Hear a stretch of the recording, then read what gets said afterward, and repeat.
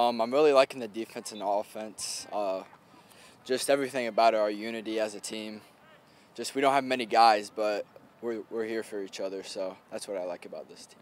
Um, obviously, you're a standout linebacker for this team, so tell me what makes this team defense go and what are going to be some of the standout uh, players for this team Friday defensively when we see you guys play Fridays this season? Uh, the chemistry and the defense is really what's holding us together and what's going to determine most of our games. Um, some few standout players. We got uh, Jack O'Connor on the line, Cody Bickley there with me at linebacker, um, Caden Colburn, another returner. What, what Yeah. characterizes this defense? Experience, physicality, speed, know-how? What is it that really stands out to I you? think it's a mix of speed and physicality, fast off the edges and tough up the middle. Taking a look at this Garrett team, I mean, you look at the uh, NECC Big Division, it feels feels pretty wide open.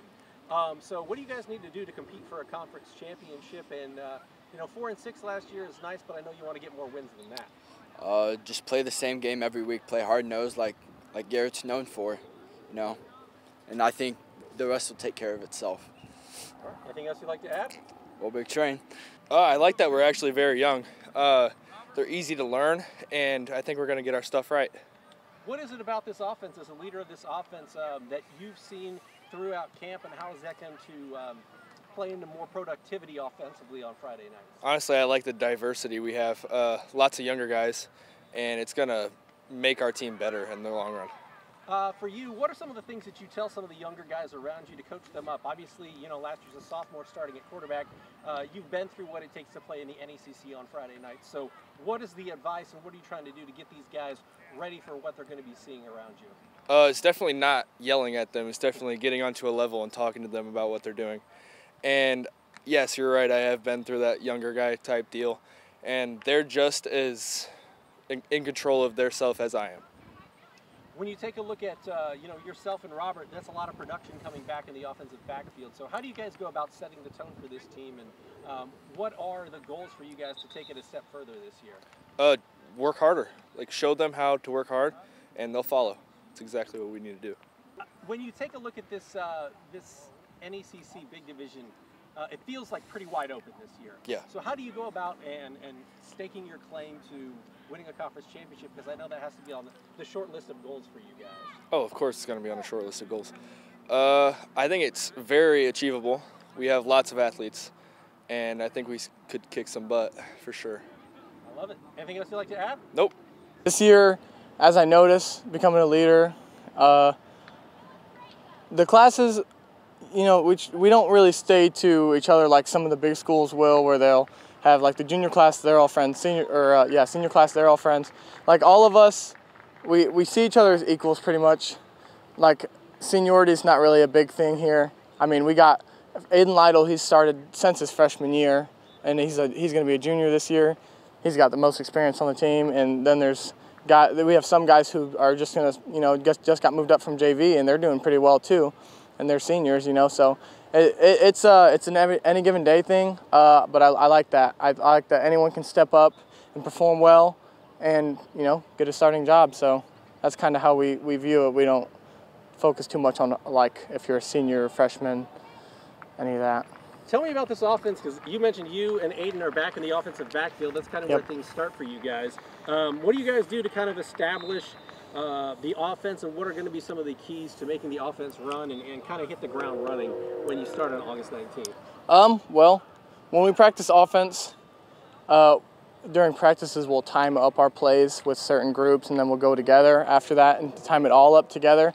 It's about timing. So in the backfield, when we do our reads, when we do our RPOs, stuff like that, we all have to have perfect timing. We all have to be on the same page, and that's that's where we excel. You know, we all, we all know what you know what the goal is, how the play works, and you know what the point of running that play is. We, we you know we, it all corresponds, and we're all on the same level. When we're all on the same page, it always goes well. For you guys, you know, at times you guys saw success last season in, in the four wins. Um, how do you take it a step further this year? Like, what's the key for Garrett to get over that hump and competing for a conference championship? Scoring. I mean, we we had an outstanding defense. They always showed up. I mean, the only times that that uh, any you know any really any teams would score on us would be big big broken plays. So I feel like we had a pretty consistent defense. It was our offense. We, we would we would get the ball down the field and we would struggle to score. But uh, this year we brought in a new offensive coordinator. Um, I think that we'll we won't have as much trouble scoring. We have you know new ways to run our plays. You know when it comes to RPOs, run and passes, and um, so that was that was the biggest thing. I think last year we we were contenders, and this year we are as well. And I, I, I must say I'm a little bit more confident now uh, that we'll be, we'll be we'll be able to score a little bit better this year. We don't have a ton of guys, which makes it easier for them to be a little more tight knit. I've seen that. You know, our seniors have done a good job of uh, pulling the rest of them together, and so um, yeah, they've been pretty tight. Uh, very disciplined group so far too.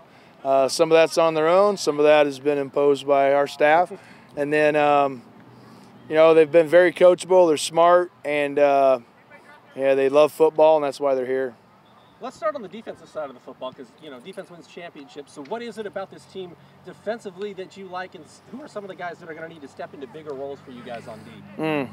Yeah, uh, defense is where we have the least returning experience. I think we really only have three returning starters, three or four maybe, and uh, you know, but we got uh, guys at each level of the defense returning. You know, one or two up front, two at linebacker, and I think one at DB. So that helps at least that we've got experience in all three levels. So there's somebody that can lead those position groups who's been through it before.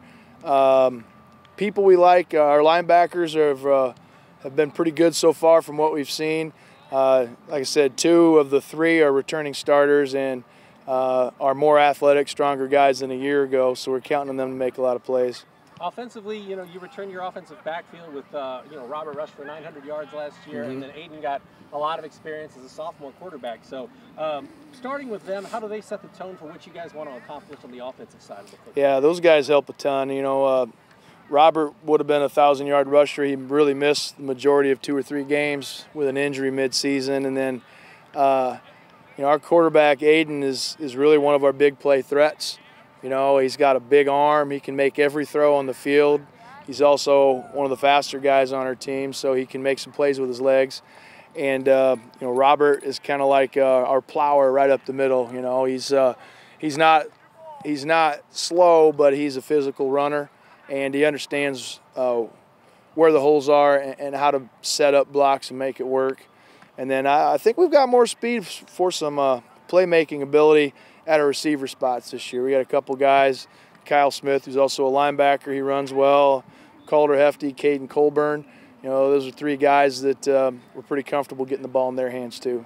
For you guys, you take a look at the NECC Big Division, and it feels pretty wide open. So, mm-hmm. how do you guys go about, um, you know, vaulting, vaulting yourself up to championship contender when it comes to the NECC, and what's going to be the key? Because as I was talking with the guys, that's got to be one of the, the ultimate goals that you guys have listed as oh sure championship. Yeah, and really, you know, for us, weeks four to eight determine our conference. You know, we really have our conference games in the middle five of the season.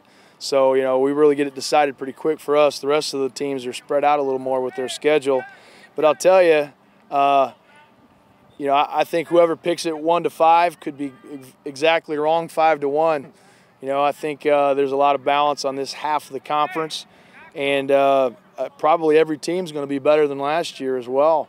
So it's going to come down to all those things that determine every game. You know, is how healthy is your team, and that was one of our bigger problems last year. We got the wrong guys all hurt just when the conference part of our season was starting and, uh, and that put us back. It limited us a little bit. So staying healthy, you know, just the ball bouncing right, the matchups, uh, the weather. I mean, all those things are factors in whether games are won or lost. But hopefully, just you know, the better teams win, and you know, we need to work and be ready.